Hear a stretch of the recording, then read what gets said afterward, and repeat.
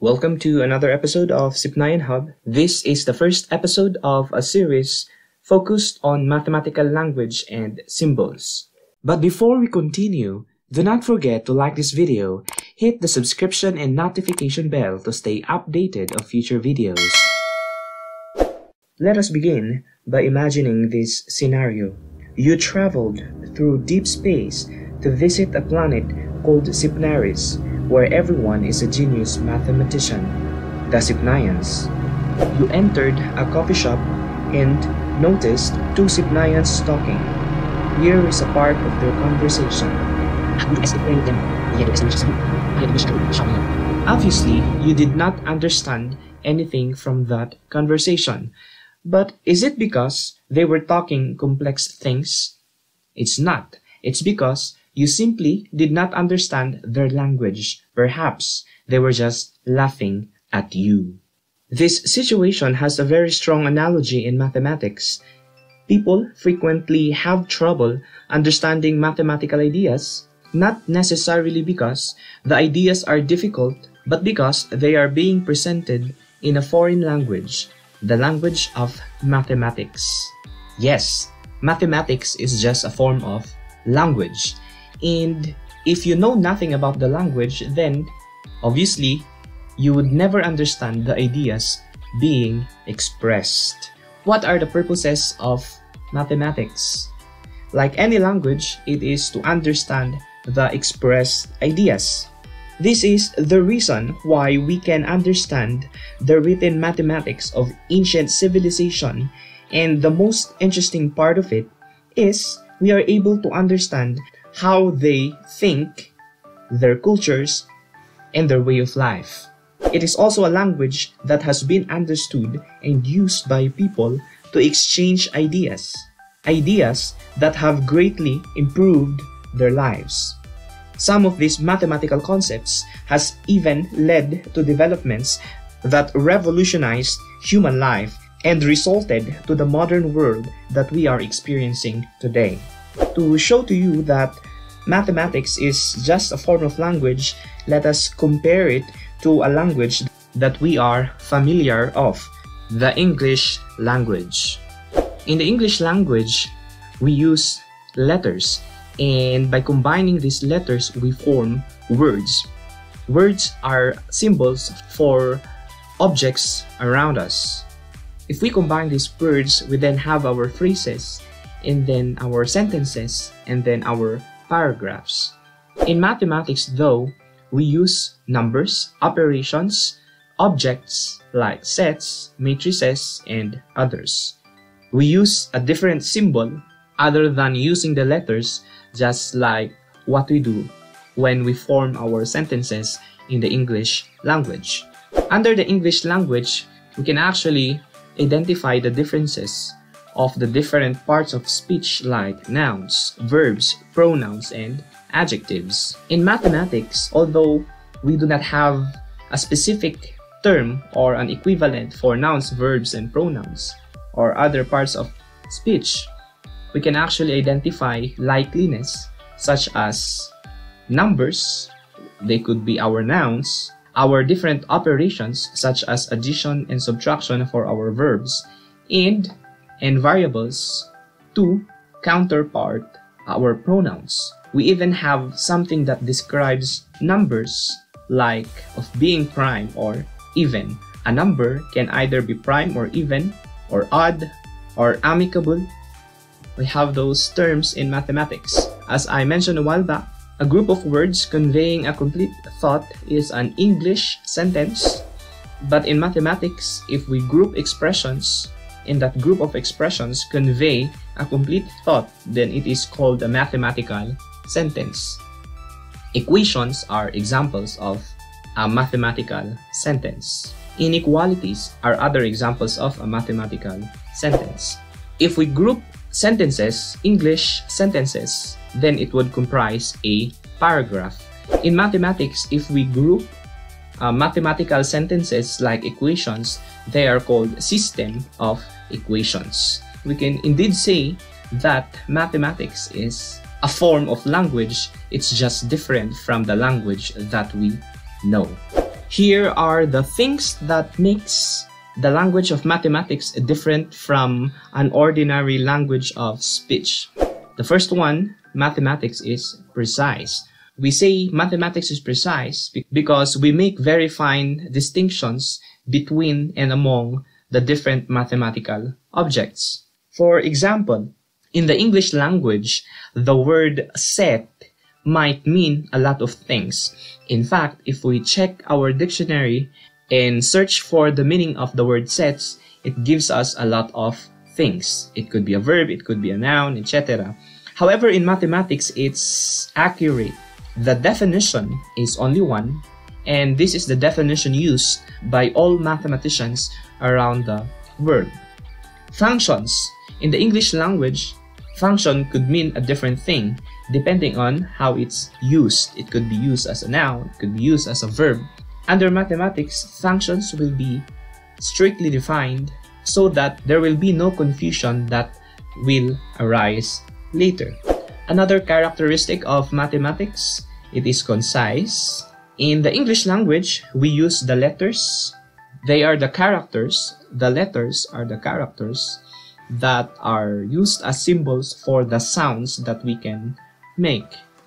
In mathematics, we use a different set of symbols and for most of the symbols they are really short even if the expressed idea is complex uh, mathematics tend to use symbols because we want to be short yet clear and complete another characteristic of mathematics it's powerful and it's powerful because we can actually solve a lot of things using this form of language it's quite interesting, isn't it, that a language is too powerful that could revolutionize how we live today and in the future. It is not only in the English language that we talk about grammar. In mathematics, grammar means the structural rules governing the use of symbols representing mathematical objects like expressions, variables, and mathematical statements or sentences we have our different operations, sets, relations, and functions, and even uh, an introduction to elementary logic. These objects are the main focus of this series. Because we want to learn the language of mathematics, we will familiarize ourselves with the most basic concepts that serves as a foundation of advanced mathematics. Let us begin with the concept of variables. Have you ever watched a movie involving a crime scene where the police or agents were not able to identify a dead body and just called that unidentified dead body John Doe or Jane Doe if it's a female? The name John Doe or Jane Doe is not really a specific name, but a term that we use to mean that that body could be anybody Later on, they would discover the real name of that unidentified body, but for now, they will just call it John Doe while the identity of that body is still unknown. Variables can be thought of this way. It is a placeholder when you want to talk about something but you imagine that it has one or more values but you don't know what they are. For instance, I would let x be the next president of the Philippines. Since I don't know who is the next Philippine president, I would just call him or her X. I would like to propose to President X that the following community programs be supported. We also use variables because you want to say something in general about elements in a given set and so you don't want to be restricted to considering only a particular element. For instance, when we speak about all Filipinos in general, we may use the term Juan de la Cruz. This serves as a variable, a placeholder for any Filipino citizen. Another mathematical objects are our operations. An operation is a mathematical process that we do to yield a value given one or more mathematical objects such as numbers and variables. Let me give you examples of an operation additive inverse. When we say additive inverse of a number, it is actually the same number except that we negate the sign. If it's positive, then we make it negative. If it's negative, we make it positive. And if it's 0, of course, it remains 0. That is why the additive inverse of 3 is negative 3. It's the same number, but we negate the sign from positive to negative. Additive inverse of negative 5 is 5. It's the same number, it's 5, except that it becomes positive from negative 5. Multiplicative inverse, on the other hand, is synonymous to reciprocals. What do we mean by a reciprocal? We imagine a fraction and the reciprocal is identified by simply interchanging the numerator and the denominator. So for example, the multiplicative inverse of 2 is 1 half because the denominator of 2 is 1 and the numerator is 2. So if you interchange it, it becomes 1 half. The multiplicative inverse of 3 fourths is 4 thirds. We simply interchange the numerator and the denominator. We do not change the signs. That is only for the case of additive inverses. Another example of an operation is the very popular addition, subtraction, multiplication, and division. I believe we are all familiar with this, so I would not expound it in detail. Let us go back with our additive inverses and multiplicative inverses.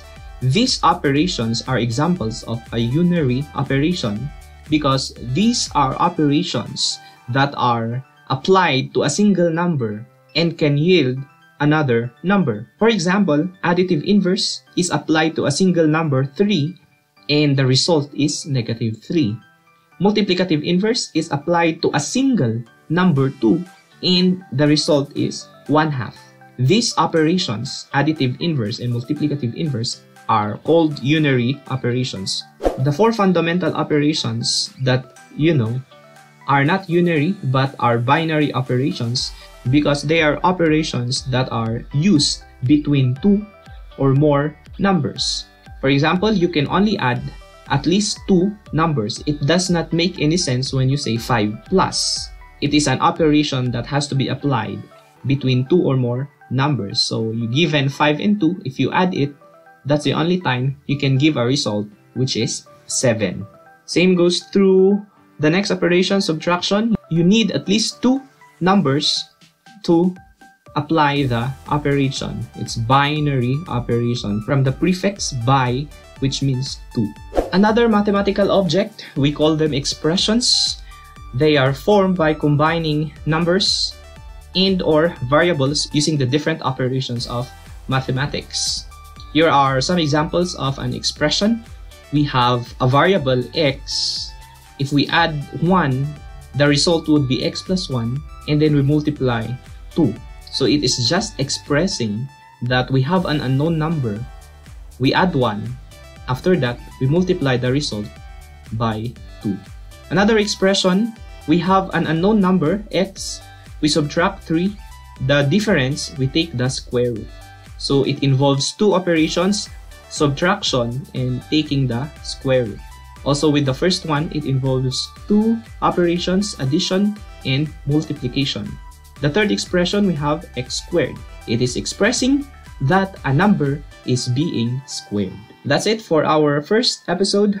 In the next video, we will compare and contrast expressions in mathematical sentences or statements. I will see you there.